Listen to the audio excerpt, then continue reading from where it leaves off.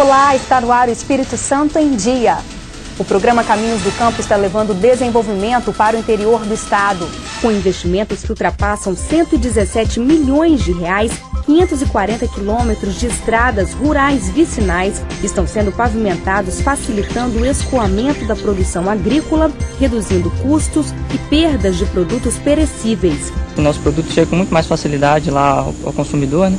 Ou seja, para a gente foi uma melhora de 100%. A gente não tem palavras de gratidão para as pessoas que executaram essa obra. Também o agroturismo está sendo estimulado, gerando empregos diretos e renda extra para as famílias do campo. O turista ele vai ter a opção de estar saindo da praia e 15 minutos de carro está chegando realmente na região de montanha. Segurança Pública. O planejamento estratégico do governo do estado prevê para 2007 investimentos de 874 milhões de reais, com foco na inteligência e no sistema prisional implantação do Centro de Detenção Provisória de Cachoeiro com 298 vagas, Centro de Detenção Provisória de Cariacica com 320 vagas, Unidade Socioeducativa para Jovens em Conflito com a Lei em Cariacica e ampliação da Unip, conclusão das obras da Penitenciária de São Mateus com 530 vagas, reforma e modernização da Penitenciária de Segurança Máxima em Viana com 500 vagas,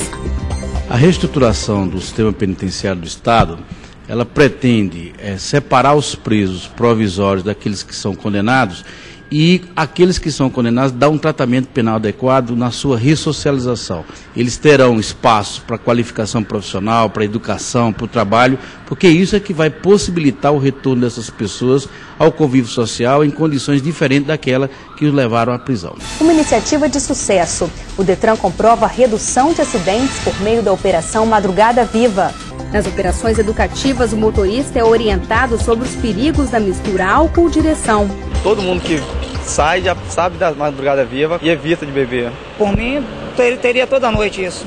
Nas operações punitivas, o motorista pode ter a carteira de habilitação apreendida e receber multa. Os dados computados pelo Detran apontam um total de 27.679 abordagens, 5.424 testes de bafômetro e 1.738 carteiras de habilitação apreendidas até 24 de março de 2007. A principal recomendação da Polícia Militar é que se beber, não dirija. Álcool e direção não combinam.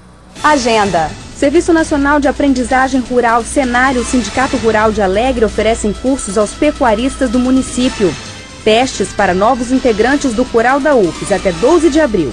Uma ótima semana e até a próxima.